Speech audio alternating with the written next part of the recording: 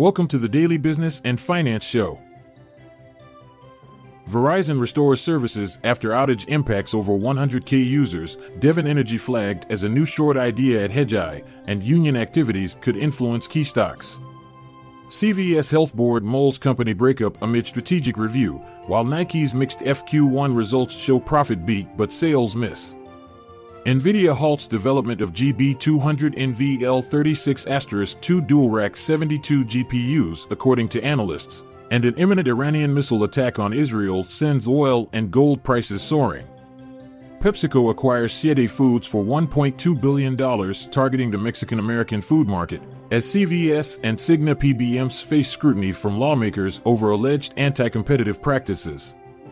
Stay tuned after the short ad break to learn more about these stories.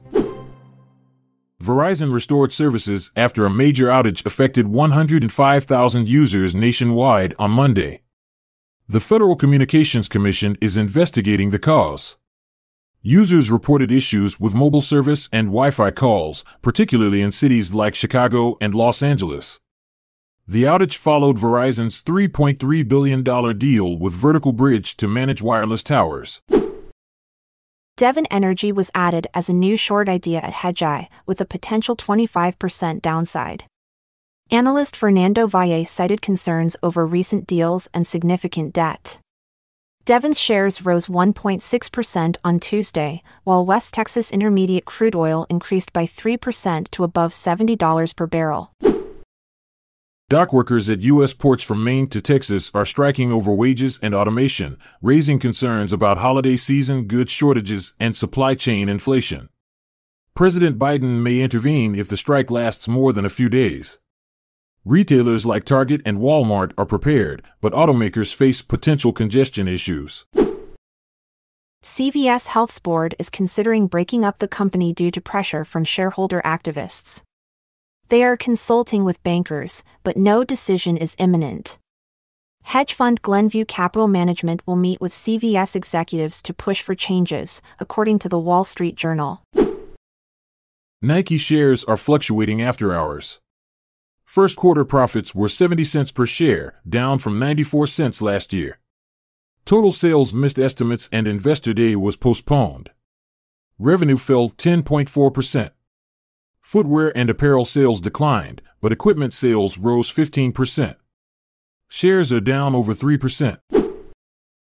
NVIDIA has halted development of its dual rack GB200 NVL36 2 with 72 GPUs, leading to a 3.5% drop in shares. Analyst Ming Chi Kuo reports that NVIDIA will now concentrate on the single rack version. This change raises concerns about supply chain execution but demonstrates a pragmatic approach. Hon Hai will begin mass producing servers with NVIDIA's GB200 GPUs next month. Iran is reportedly preparing a ballistic missile attack on Israel, escalating tensions. Gold prices near record highs as the Federal Reserve signals smaller rate cuts. Crude oil prices rebound with West Texas Intermediate up 3% to over $70 per barrel and Brent crude rising to nearly $79 per barrel. Israel begins a ground incursion in Lebanon targeting Hezbollah, but no plans to invade Beirut. OPEC Plus meets Wednesday, no policy changes expected. Goldman Sachs raises gold forecast to $2,900 an ounce for early 2025 due to rising ETF flows and central bank purchases. PepsiCo confirmed a $1.2 billion deal to acquire Siete Foods, founded in 2014 and specializing in grain free and dairy free Mexican American foods.